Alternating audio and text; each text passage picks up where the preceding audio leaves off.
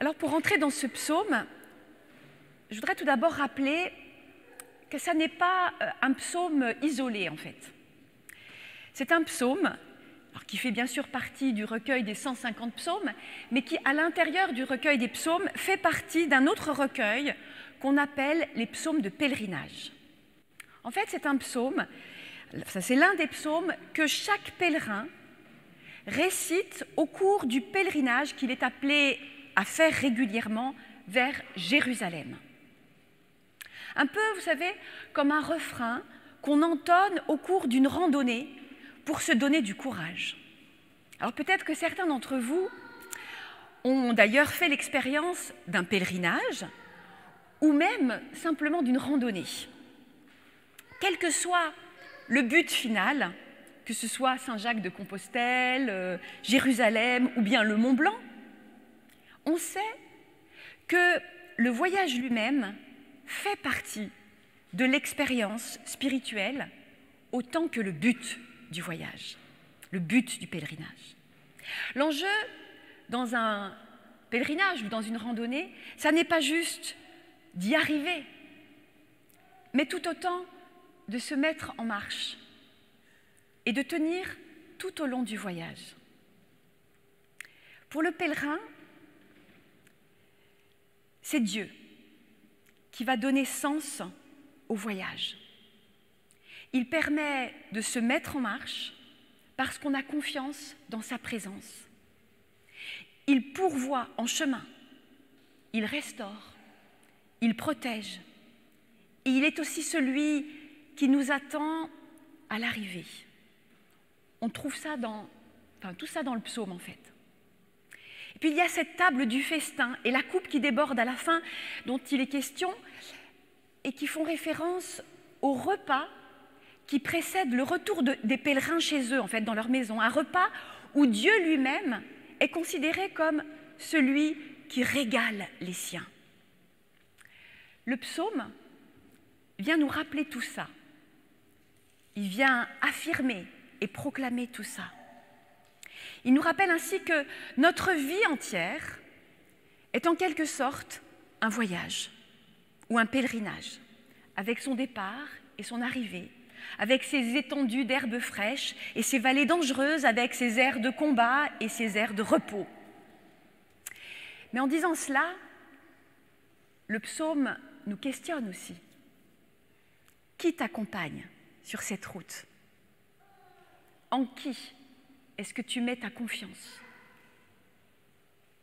Le pèlerinage, dans la perspective du peuple d'Israël, ce n'est pas un exploit spirituel qu'on accomplit pour prouver sa foi ou pour attirer la faveur de Dieu sur soi. C'est une manière de redonner sens au grand voyage de notre vie, de reposer les questions essentielles, de faire alliance avec Dieu encore et toujours. Alors, le psaume va se lire à la fois de façon personnelle et en même temps collective. Ce n'est pas seulement l'histoire de la vie de chacun, c'est aussi l'histoire d'Israël qui est relue ici, avec ce Dieu qui a accompagné son peuple en toutes circonstances, qui a toujours pris soin de lui, même à travers l'exode et l'exil, pour le ramener à bon port, à Jérusalem. Quand chacun, quand chacun reconnaît le bon berger et entre dans une relation personnelle avec lui, alors ça devient une histoire collective. L'histoire d'un peuple qui se constitue et qui se met en route ensemble avec Dieu. Ça peut être Israël, ça peut être l'Église de Jésus-Christ. Le Seigneur est mon berger, je ne manquerai de rien. Tout commence avec la confiance. Parce que la confiance ou la foi ne s'obtiennent pas à force de ou en cours de route. La confiance, c'est toujours le point de départ, ce qui nous met en route. Mais c'est aussi le point d'arrivée parce que le psaume se termine encore sur cette même confiance. Oui, le bonheur et la fidélité m'accompagneront tous les jours de ma vie. En fait, c'est un peu comme si le psaume décrivait un cercle vertueux. On part de la confiance et on arrive à la confiance. Et ce cercle vertueux, c'est celui de la foi. Ce que nous sommes appelés à expérimenter jour après jour dans notre vie chrétienne, à travers les joies et les peines que nous allons traverser, à travers les épreuves et les déserts, les temps de fête et les temps de deuil. Tout commence avec la confiance et tout finit dans la confiance. Voilà ce que vient nous rappeler ce psaume, mais aussi ce qu'il nous invite à expérimenter à nouveau. Une confiance inébranlable dans la présence et dans l'amour de Dieu. Seulement voilà, il faut avoir l'honnêteté de reconnaître que ce n'est pas toujours évident, cette confiance. Parce qu'il nous arrive de perdre confiance. Pas forcément en Dieu, mais en nous-mêmes, dans l'avenir, dans les institutions ou dans ceux qui nous accompagnent. Il arrive que nous soyons en panne de confiance.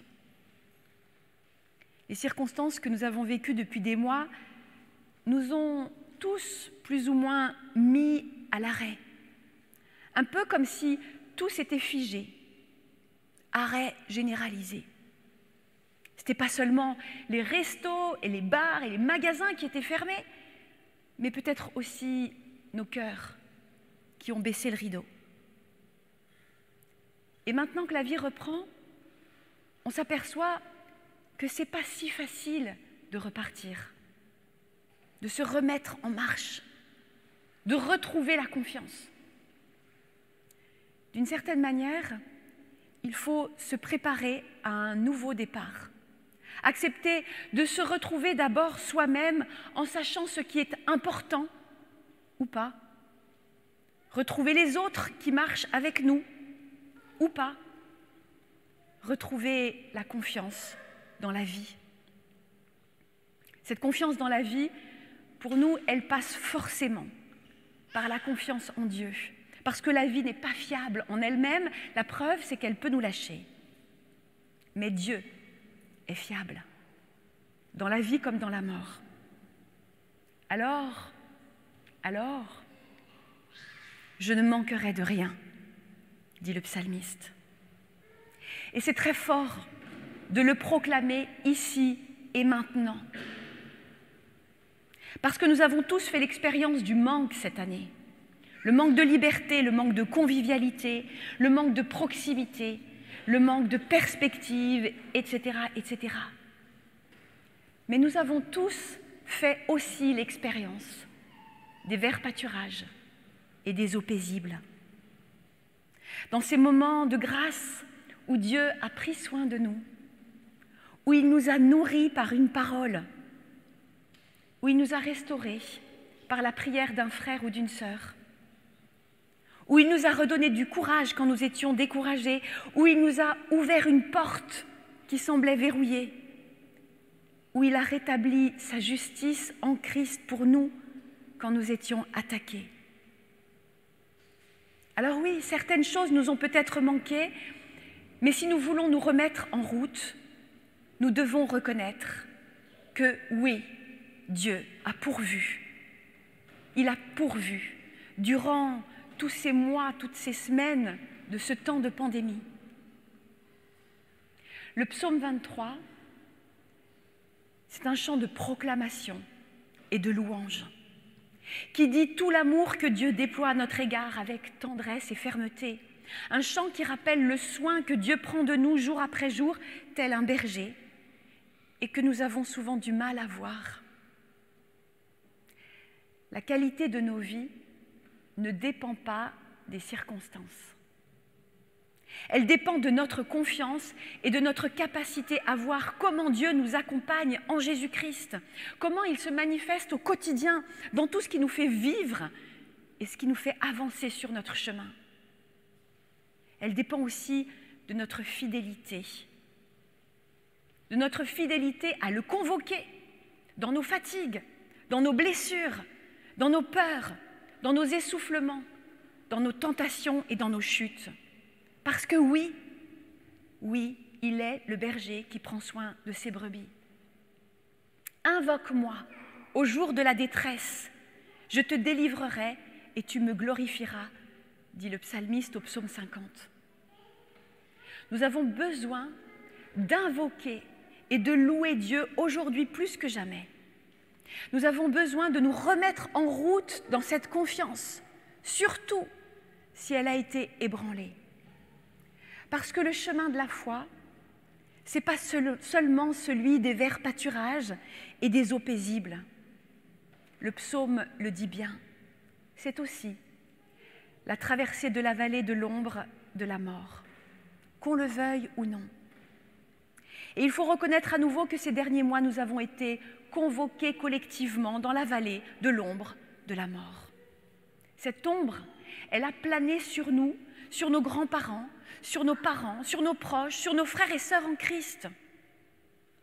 Qui d'entre nous n'a pas eu peur pour lui-même ou pour un proche ces douze derniers mois? Qui n'a pas imaginé le pire à un moment ou à un autre? Crois que personne n'a été épargné par ses inquiétudes et par ses peurs. Mais dans cette vallée de l'ombre de la mort, c'est là que nous avons pu faire l'expérience aussi de la présence paisible et saisissante de Dieu dans nos prières, dans nos pensées, dans nos partages et aussi dans nos deuils, dans nos dépressions, dans nos tentations diverses.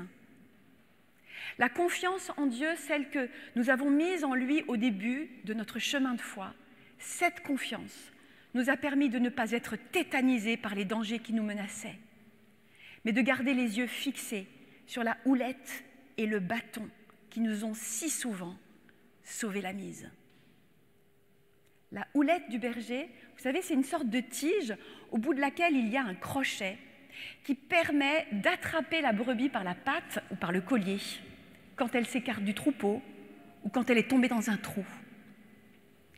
Quant au bâton, c'est à la fois celui qui sert à conduire le troupeau, c'est le même mot qui décrit le sceptre d'un roi, mais c'est aussi ce bâton qui sert à éloigner les bêtes sauvages et les prédateurs.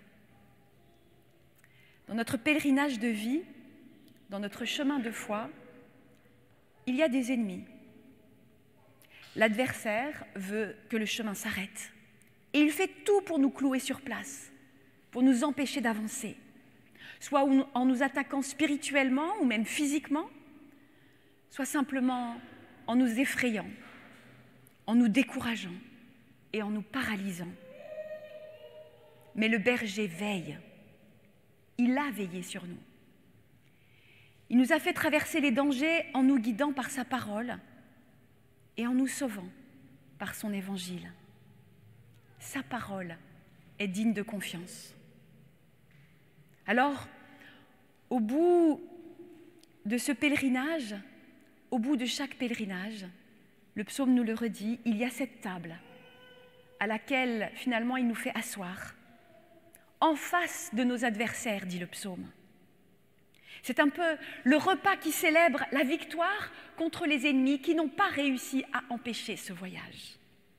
Dieu les a tenus et les tient encore à distance.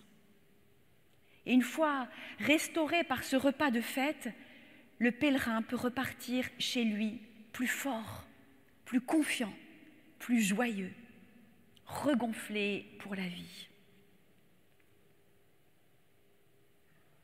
Nous voici rassemblés ce soir enfin dans le temple pour célébrer un culte sans contrainte, à part les masques, ni jauge, ni barrière, ensemble et avec Dieu. C'est bon. Il faut reconnaître que c'est vraiment bon. C'est un temps à part. Ça peut être le terme d'un voyage ou le début d'une nouvelle aventure. Quoi qu'il en soit, nous pouvons regonfler nos batteries dans ce culte. Nous pouvons savourer maintenant la grâce d'être aimés et choisis par Dieu. Nous pouvons goûter pleinement le bonheur d'être accompagnés par Christ. Il est notre berger.